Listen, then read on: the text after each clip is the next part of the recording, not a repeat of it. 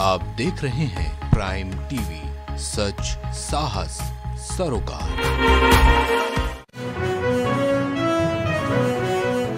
प्रधानमंत्री मोदी ने कांग्रेस पर साधा निशाना, बोले कांग्रेस बॉर्डर पर सड़क बनाने से डरती थी।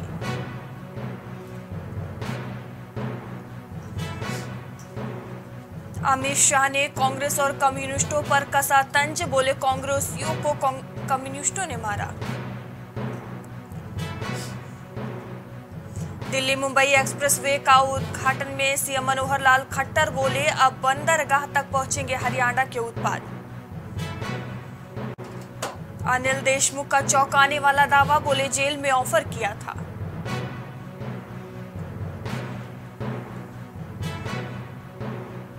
सिक्किम में चार दशमलव तीन तीव्रता के भूकंप से कांपी धरती कल ही असम में महसूस हुए थे झटके।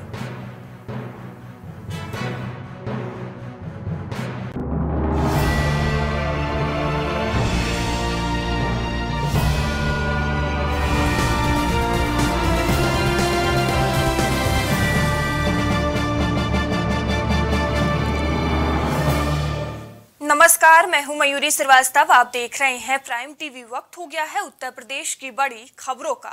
आगरा पहुँचे जी ट्वेंटी डेलीगेशन ने ताजमहल का दीदार किया है और शिल्प ग्राम से गोल्फ कोर्ट के ज़रिए डेलीगेशन ताजमहल के पूर्वी गेट पर पहुँचा।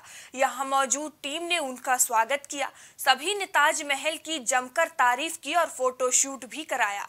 इस दौरान सुरक्षा के भी चौक चौबंद इंतज़ाम देखने को मिले। My name is Claudia Keller. I'm the delegate for Mexico for the G20, and I'm very happy to be here and see Today the you've been Taj Mahal. How do you how do you like it? Oh, beautiful! It's uh, yeah, one of the wonders of the world, and I'm very happy to have been here and with the group and visiting, and having this opportunity to see for ourselves the Taj Mahal. So how do you like in India? What's your memory? Yeah, I love India, and it's very nice. But I'm I have to say I'm I'm stay, I have been in India for five months, and I will stay here for three years. So I am probably going to see much of the country. I hope so. Thank you. Thank you. T के संदर्भ में जो हमारी ये दो दिन की कार्यशाला हुई है इसका मौलिक उद्देश्य था महिला सशक्तिकरण जी और जैसा कि आप जानते हैं कि इस दिशा में भारत एक अग्रणी राष्ट्र है और हमने जो कदम उठाए हैं और जो भविष्य में हमारी चुनौतियाँ आने वाली हैं पर दो दिन तक परिचर्चाएँ हों। और यही सब जो बातें निकल के सामने आई हैं इन्हीं के आधार बनाते हुए आगे का कर- कर- काम डिसाइड किया जाएगा। अच्छा ये जो महिला सशक्तिकरण पे यहाँ पे जो प्रस्ताव बना टूरिस्ट गाइड अपने डेलीगेशन को आज घुमाया है। कैसा महसूस हुआ? उनको क्या कुछ कहा उन्होंने? किस बारे में उन्होंने जाना था जो विज़िट है हमारे डेलीगेशन की इट्स वेरी वेरी इंपॉर्टेंट है और आते हुए वक्त में हम इन डेलीगेशंस की और उम्मीद करते हैं, ताकि अपने शहर को भी सुंदर बना सके और अपने टूरिज़्म को और प्रमोट कर सकें, क्योंकि कोविड के बाद से हमारा पर्यटन जगत मृत प्राय है। तो इनको हमने अपने शहर की खासियत बताई, ताजमहल की खूबसूरती बताई, जो कि किसी तारीफ़ की ज़रूरत नहीं है यहाँ पर। इतना खूबसूरत है is like a gold in any condition तो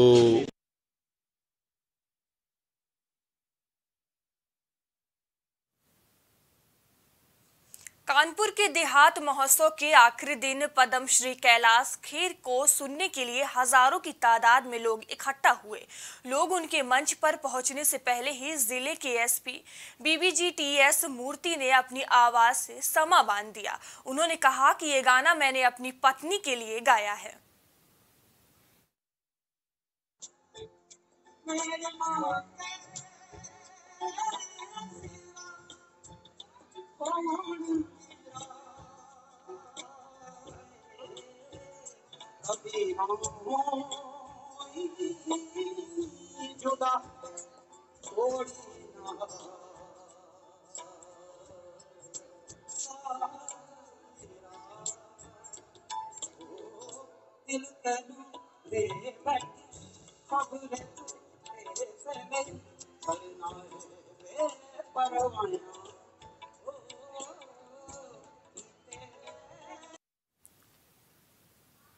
कानपुर में पुलिस की ताबड़तोड़ कार्रवाई से अपराधियों के हौसले पस्त पड़ गए हैं।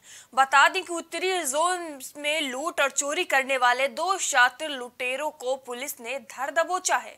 पकड़े गए आरोपियों के खिलाफ लूट चोरी के कई मुकदमे अलग अलग थानों में दर्ज हैं। साथ ही पुलिस ने लुटेरों को गिरफ़्तार कर उनके कब्जे से ज्वेलरी और नकदी भी बरामद की है।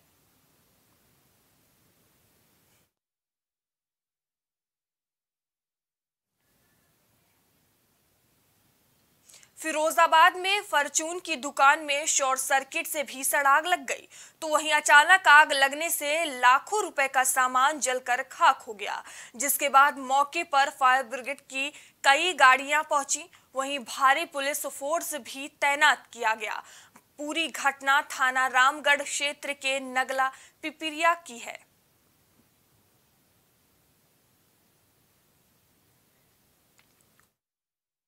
लाइट के कारण आग लगी नाम है क्या नाम है मेरे जाके। कहाँ पर दुकान है आपकी।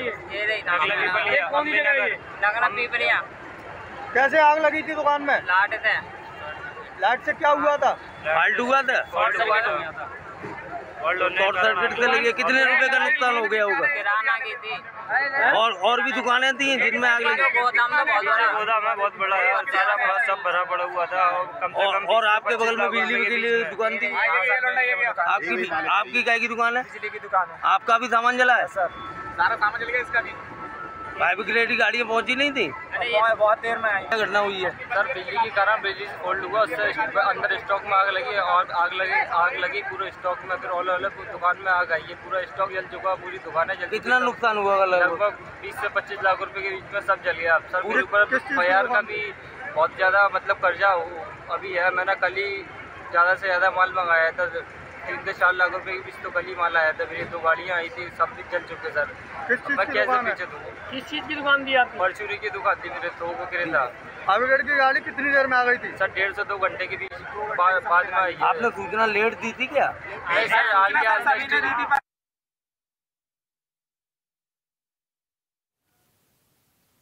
फिरोजाबाद में तीन दिन तक बेटों के इंतज़ार में पिता का शव रखा रहा।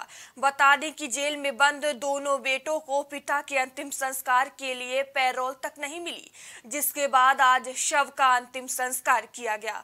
पूरा मामला थाना मक्खनपुर क्षेत्र के गाँव इंदू मई का है, जहाँ पूर्व प्रधान की बीमारी के चलते मौत हो गई थी।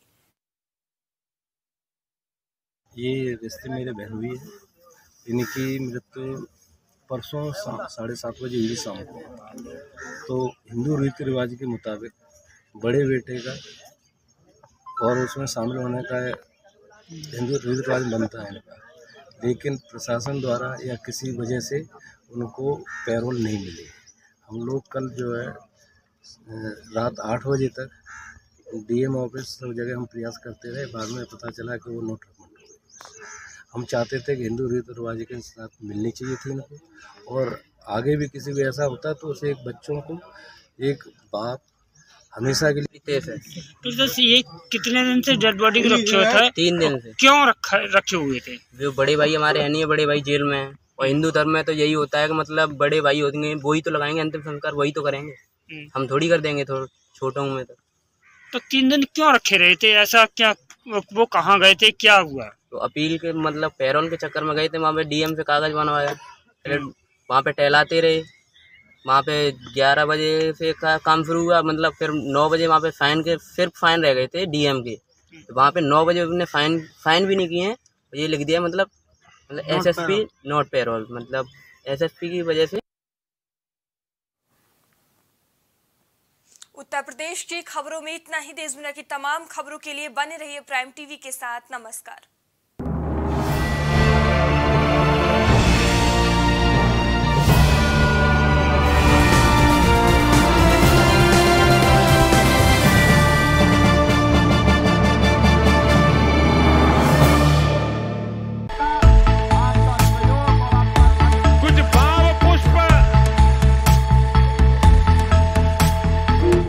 देख रहे हैं प्राइम टीवी सच साहस सरोकार।